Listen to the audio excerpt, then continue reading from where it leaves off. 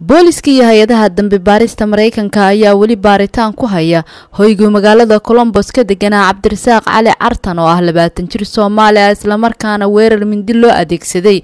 Ka geystay jaamacadda ohio state university ee magaalada colombos waxay boolisku ka haysteen dhammaan qoyskii cabdirasaaq oo ka koobnaa hooyo iyo lix carruur ah oo dhammaantood su'aalo laga weydiinayay qofka uu cabdirasaaq ahaa walow in ka badan toban saac la haystay. Haddana waa la soo fasaxay waxa uu cabdirasaaq ka yimid waxna ku soo bartay dalka baakistan waxa uu sida la sheegay ahaa qof aad u jecel waxbarashada waxauna kaalimaha koowaad ka geli jiray imtixaamaadka isagoo ahaa shaqsi dhinaca cibaadada ku wanaagsanaa sida ay noo xaqiijiyeen dad ay in muddaha isyaqaaneen sannadkii labada kun iyo saddex iyo tobankii ayuu soo galay dalka maraykanka isagoo ka soo dhulbilaabay gobolka taxas naf ahaantiisa waxa uu ka mid ahaa ardaydii jaamacadda o s u wax ka baranaysay sannadkii labaadna waa uu waday.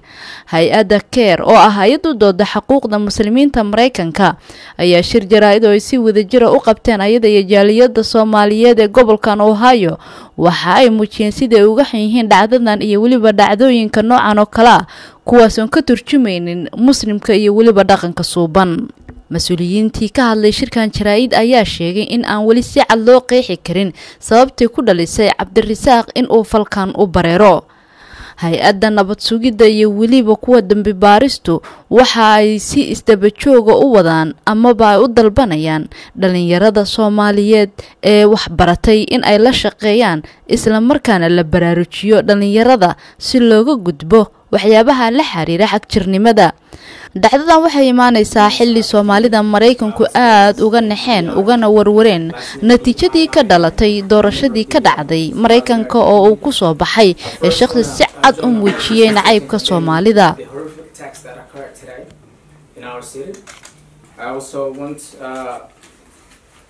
to everyone to know that we, the Somali American community, stand shoulder to shoulder with our fellow Americans in condemning the sickening act of violence that took place in our city earlier today. And any twisted mindset that would claim or justify such a sickening act of, of, of, of violence isn't a part of us. What an individual has, uh, the act of an individual shouldn't be blamed for the rest of the community. Columbus is a very diverse city. It has been welcoming to my community and, and, the rest of the uh, Muslim community. We want it, to be stay, to, it to, uh, stay that way. Uh, we have uh, diverse uh, communities here. We have uh, a large Muslim and non-Muslim in, in, our city. And speaking of OSU, it's we OSU is our home. we have some of the most graduates, Somali American graduates, are coming from out of OSU instead of any other college in the in, in, in the nation. So whatever someone individual has acts of violence that they have committed shouldn't be blamed for the rest of our community and there shouldn't be a backlash on Muslims, on, on Somalis, or any other ethnicity for that matter. One of the names of God is As-Salam, the source of peace. The first public speech Prophet Muhammad said was Ayyuhan nas ifshu salam, O people, spread the peace. We Muslims are commanded to greet the people by praying for them and saying, May the peace of God be upon you. We are also here today to send our love and helping hand and support to the families who were victimized. We want to thank our law enforcement for preventing a major calamity. As Americans, we are very stronger when we come united. And when we, we are weak, when we succumb to the fears and the divisions and the Uh, uh, uh, when we don't live up to the values upon which this great country was founded. Thank you very much. Condemn acts of violence. They don't speak for us. They don't speak to our faith. Um, and so we strongly condemn in the strongest terms any act of violence that's done in our faith. Like my brothers from the various organizations spoke before me, we are absolutely here in solidarity with the Muslims of Central Ohio, with our Somali community of Central Ohio, as well as with everybody else in the greater Columbus area. We are a community that aspires to be good citizens, that aspires to uh, work for peace, work for justice, uh, and to make our community the kind of place we all want to live in. So while we absolutely condemn with un, you know, words cannot express how strongly we condemn these horrifying acts, We also absolutely want to commend law enforcement and first responders that uh, headed off potentially greater injury. And, uh, and I also want to uh, give a, a due respect to the training in place at The Ohio State University. Raxmaan raxiim magacaygu waa cabdinuur sheekh maxamed waxaan caawa isugu nimid halkan. Qaar ka mid ah culamaa udiinka waxgaradka soomaaliyeed. ee ku nool magaalada colombus ohio. Inaan ma aragtay ka wada hadalno aan adweynana u sheegno inaan aada uga xunnahay falkii maanta ka dhacay jaamacaddan weyn ee colombus ku taalla oo la yidhaahdo ohio state university. Arrintaasoo fajac nagu noqotay annaga.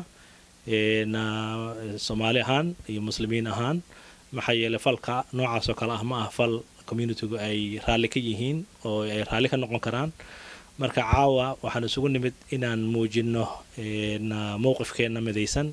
Haddaan nahay soomaalida maraykanka degan gaar ahaan gobolkan ohio iyo muslimiintaba inaan u sheegno warbaahinta caalamiga ah in soomaalidu iyo muslimiintaba ay aada uga xun yihiin falka maanta dhacay oo aan weli la ogeyn asbaabihii kalifay iyo meesha uu ka socday. Hase ahaatee inaan muujino dareenkeenna midaysan inaan ka soo horjeedno inaan nahay dad maraykan ah oo dalkooda aanan dhib gaarsiinayn. Jaamacaddana dadka dhigta waxaa u badan soomaali badan baa aada u dhigata oo toddoba boqol oo arday inka badan baa dhigata soomaali. Oo waxaa ka mid ahayd gabadhayda oo maanta ku jiray dadkii qol lagu xiray oo sugaysay laba saacadood inta maaragtay arrintu ay ka dhammaanayso aad aan ugu walwalnay. Marka dhibaatadu soomaalidu way haysataa muslimiinta kale way haysataa maraykanku way haysataa aad baan uga xunnahay waxa maanta dhacay. Waxaana rajaynaynaa in maaragtay arrintaas ay noqon mid raad ku yeelata joogitaankeenna soomaaliya maraykan ahaan ama aysan nagu yeelin maaragtay dhibaato kale. Taas ayaana keentay inaan bannaanka soo istaagno oo aan muujino inaan dadka maraykanka aan la garab taagana bismi illaahi raxmaan raxiim magacaygu waa aadam sheekh cabdulle diiriye waa sidaas uu u sheegay doctor cabdinuur jasaahullahu khayran. Waxaa isu kaaya keenay inaan muujinno dareenkeenna ku aadan dhacdadii maanta ka dhacday jaamacadda ohio state university oo loo tiiriyey in uu sameeyey qof ka tirsan communitigeenna inkastoo ilaa hadda aysan dowladdu soo saarin warbixin rasmiya oo laga sugayo.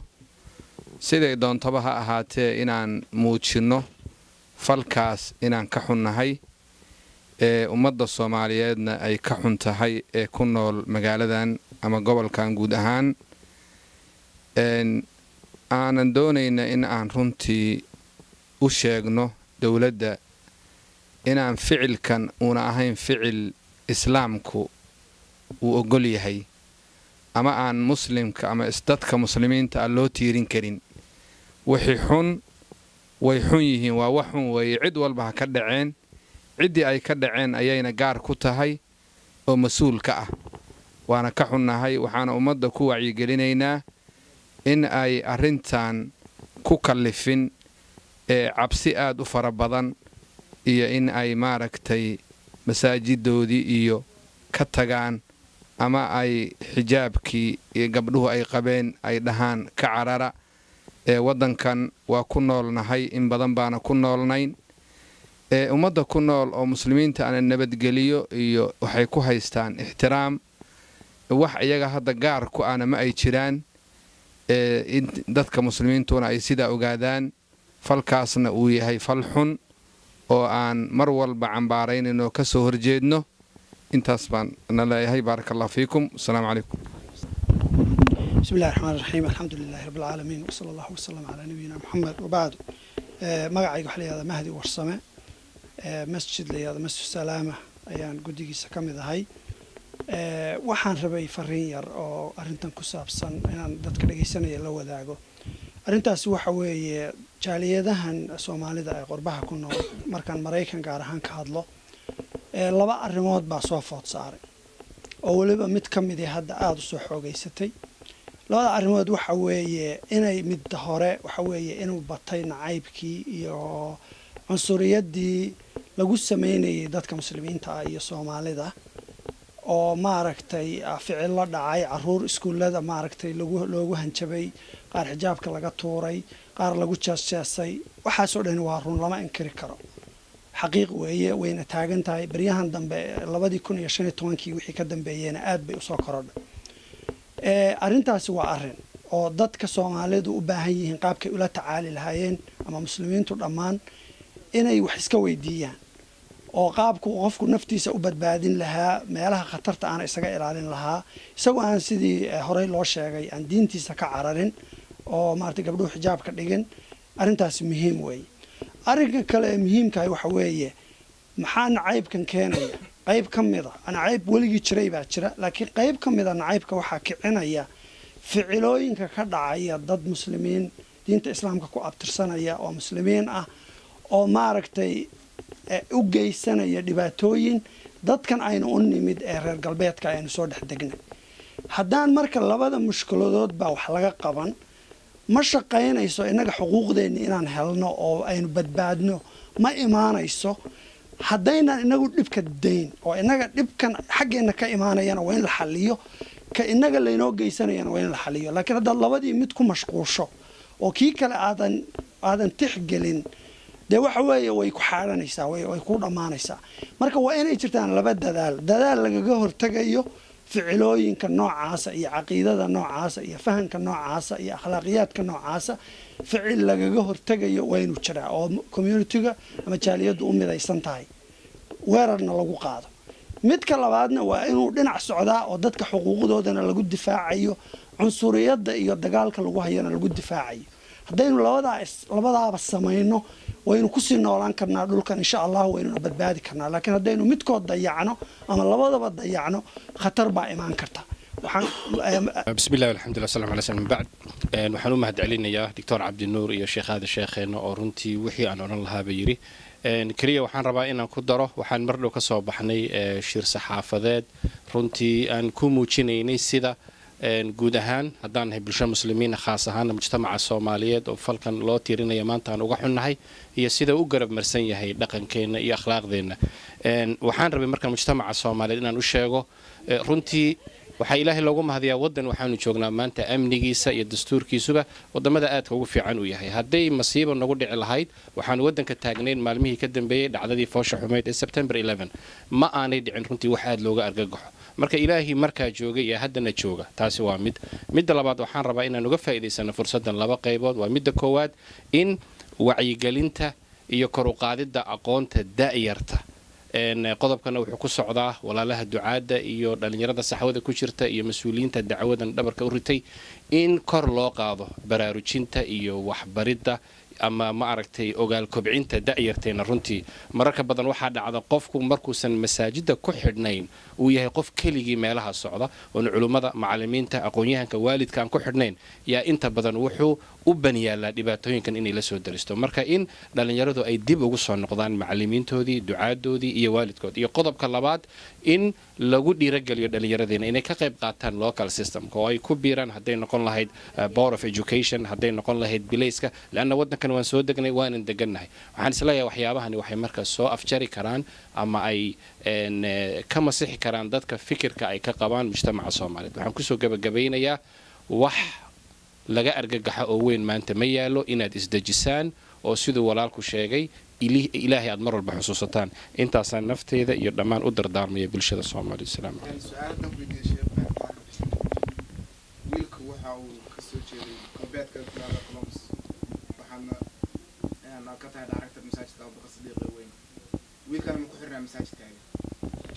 bismillahi waa run in wiilkan dhallinyarada ah loo tiirinayo inuu nawaaxiga ku noolaa. Masaajidka abubakar runtii labadiisa jimca marka la isku daro dad kor u dhaafaya laba kun baa ku soo tukada. Ilaahay waxaa loogu mahadiyaa sawirkiisa markana loo keenay in bulshadii meesha joogtay hadday noqon lahayd dhallinyaradii dhammaantood hadday noqon lahayd waalidiintii hadday noqon lahayd dadkii waxgaradkahay masaajid joogi daris qof aqoonsadana laga waayay marka taas runtii waa arrin ilaahay fadligii ku timid. Sidoo kale waxaan intaa ku dari lahaa dhallinyarada inta badan waxay u heelan yihiin ama aan u laylinay in falalka abuuri kara waxyaabaha maaragtay laga shakiyo suspicious activity-ga ay markiiba identify gareeyaan oo dadka horjoogayaas ay u soo sheegaan. Marka waana ka taxadari doonaa mana aha runtii wiil aan aqoonsanay ama aan naqaano. Asalaam.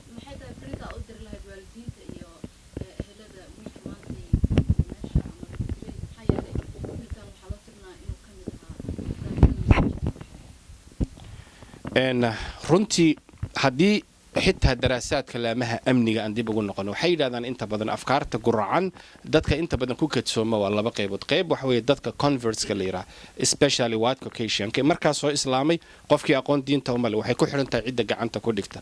Qofka labaad waa dhallinyarada inta badan nolosha ka gabi dhaclaysa ee meelaha akhlaaq xumada iyo loo taga ku xidhan daraasadan runtii waxaa samaysay homeland security waxayna ka marakacaysaa dhallinyarada ku xiran macalimiintooda iyo masaajidka iyo waalidiinta. Inta badan ma aha dhallinyaro afkaartan la ma lagu dirqin karo. Reerka musiibada ay soo gaadhay si gooniyaanu ugu diraynaa dareenkeena walaalnimo waxaanu leenahay dee ku sabra wixii idigu dhacay. Waalidiinta guud waxaan leeyahay inta badan communication xumada dhex taalla waalidka iyo awlaadaba waxay tahay xididka uu ka yimaado dhibaatooyinka carruurta ku dhaco. Doctor cabdinuur waa joogaa inuu ka hadlaan jeclaa laakiin inta badan wadahadal la'aanta ama wadaxaajood la'aanta ama iska warhayn la'aanta dhex taalla awlaadda iyo waalidiinta. Waxay sabab u tahay wiilku meeshuu ka soo toosho iyo meeshaad inaan la garanayn waxaa tusaale u ah oday soomaaliyeed igu yidhi toban sano in ka badan ilmahaygu iskuulku aadayay ma aqaana buu yidhi laakiin waxaan aqaanaa buu yidhi qof walba oo siyaasi oo maanta adduunka jooga magaciisa waana aafada in haysata. Marka waalidiinta waxaan leeyahay in carruurta laga warhayo wada shaqayn iyo howlwadaagna lala yeesho mas'uuliyiinta masaajidka. Waalid iyo culummo isbahaysta yaa badbaadin kara da'yarteen waxaan ka tateedinayaa arrintii maanta dhacday ilaahay dhibtaa reerkaa gaadhay faamiliga soomaalida ah. Ilaahay waxaan ugu baryaynaa inuu wanaag ugu bedelo arrintaasina haddeer looma tiirin karo. Weli qolyaha baadhaa ma garanayaan ninkaas miyuu xanuunsanayey ma waxbuu ka xanaaqay ma cid baa waxaan ku kaliftay ma meel buu ka akhriyey in lagu degdego qofku wuxuusan ahayn ama lagu sheeginna ma aha. Waxayna u badan tahay xitaa inuu qofku madax xanuunaya ama qof ka xanaajiyey saasayna u badan tahay. Umana badna inuu ahaa nin influence xitaa newsku wuxuu sheegay inuusan wax xidhiidh ah haba yaraatee uusan la lahayn nimanka la sheegay wax isku qarxiya. Aniga ereygaygu wuxuu ku beegan yahay waalidiinta iyo carruurta iyo haweenka soomaaliyeed. Waxaanu nahay dad nabad jecel oo aada u nabad jecel. Waxaanu nahay dad aan feejignayn oo waxaa laga yaabaa qofku inuu iska soo dhaqaaqo oo gaarigiisa iska galo oo gurigiisa iska furo oo subaxdii markuu iska soo kaco uusan dhinacna eegin.